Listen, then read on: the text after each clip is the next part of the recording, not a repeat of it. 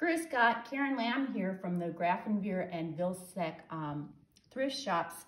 I'm a thrift shop volunteer, a military spouse of 27 years, a special education teacher, and a huge shopper at the thrift shop. Here to show you our next project that you can do at the thrift shop. And this one is near, as an educator, near and dear to my heart because um, as the holidays are coming up and you want to um, give a gift to those special teachers or coworkers and you know what what do you really get them? This is one of my favorite things getting um, as, as a teacher and it literally costs pennies.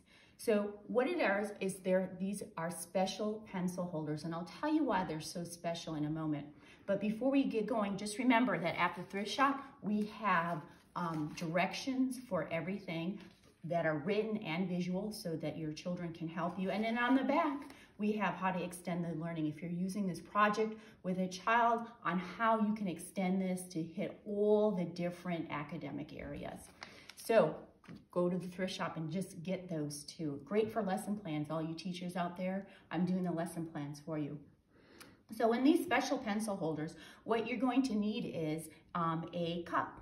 Um, and the thrift store always has beautiful crystal, um, um, which I like, but there's you can use a coffee cup, you can use a mason jar, you can, I love, love, love these parfait cups. These make fabulous um, um, pencil holders. Um, and you know, if this is a teacher's gift, this would be a great time for your children to go with you, um, spend their money and pick out this for the teacher so it really is a gift from them and it'll make the teacher feel a lot more special. So what I'm gonna do is you simply take a cup and you can use rice or lentils you can get lentils in all sorts of different fabulous colors.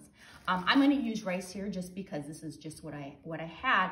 And if you're using this with children, what I would recommend to get that math component in there is give them a bunch of um, measuring cups and say, I want one half cup in there, I want one cup or a fourth cup, and let them learn those fractions doing this.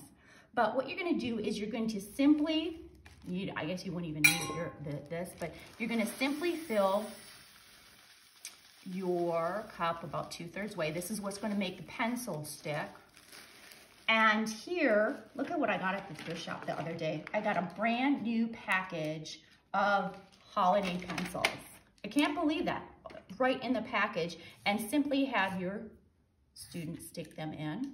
Isn't that pretty that as a teacher, you know, I used to go through about two gross of pencils a year.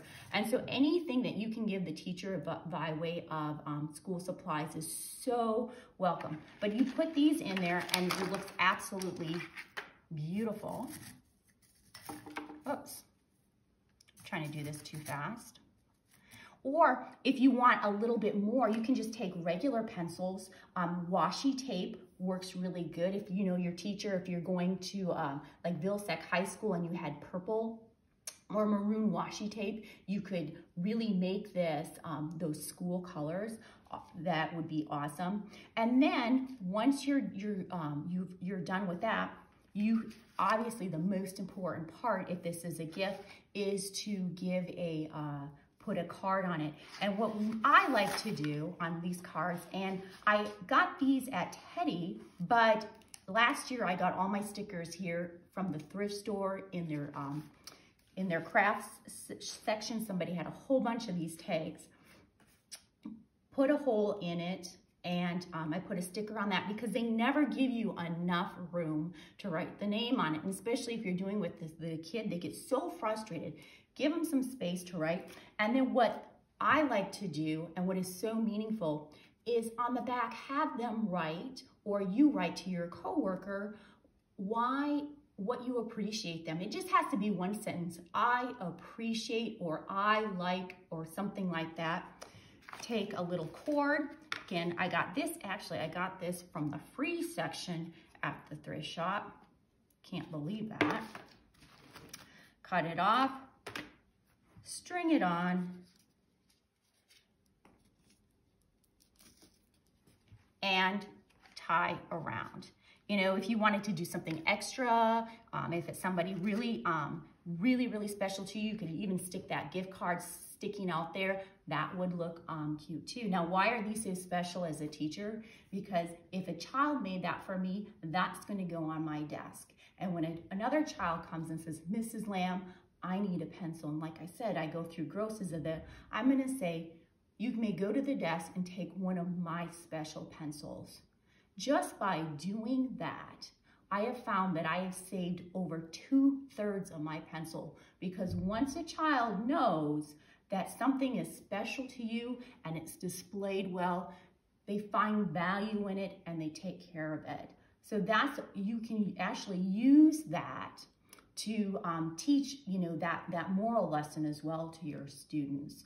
Um, so here is a gift. Now, now if the rice is gonna come out, what I, what I do is I just take this and I have, have your child wrap, you know, and stick this in here just so that when you're bringing it to school, you don't have rice or lentils, you know, all over your car. Um, and stick it, stick it in a bag. And uh, let me tell you, that will be your one of your the favorite gift that your um, teacher receives, especially if it has that note attached.